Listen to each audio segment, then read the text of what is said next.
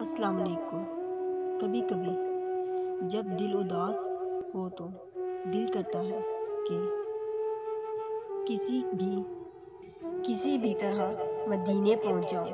हजूर अकरम सल्लल्लाहु अलैहि वसल्लम के सामने नज़रें झुकाऊं। आँखें में आँसू आए, सामने दुख उनको सुनाऊं।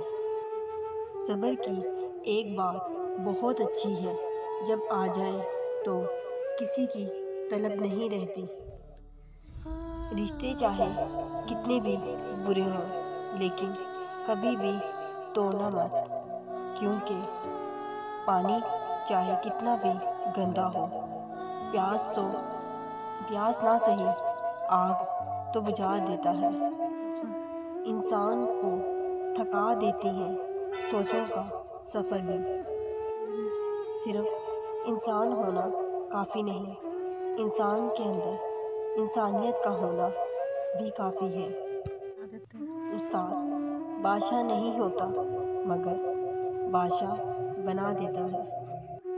जो मिला, शुक्र किया, ना मिला तो मलाल नहीं। मेरे रब के फैसले कमाल है। इन फैसलों को जवाल नहीं। वो सब जानता है किसको कब और क्या देना है? रब की रहमत से कभी मायूस ना होना। वो बहुत कुछ देने से पहले तुम्हारे सब्र का इम्तिहान लेता है। नमाज़ आदत बन जाए तो कामयाबी मुकद्दर बन जाती है।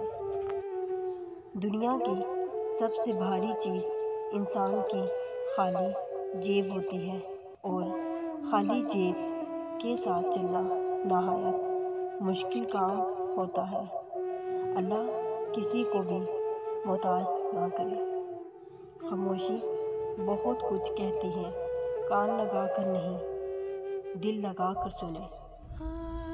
कभी भी इस रब की रहमत से ना उम्मीद ना होना, वो चाहे तो सहरा भी फूल खिला सकता है। मुख्तसर सी बात है कि किसी से उम्मीद मत रखना। झूठ बोलकर भरोसा तोड़ने से बेहतर है सच बोलकर रिश्ता तोड़ दिया जाए। फिर रिश्ता जुड़ सकता है, भरोसा कभी नहीं जुड़ता। ज़िंदगी में बस दिलों को जीतने का मुकद्दर रखना। वरना दुनिया जीत कर तो सिकंदर भी खाली हाथ गया।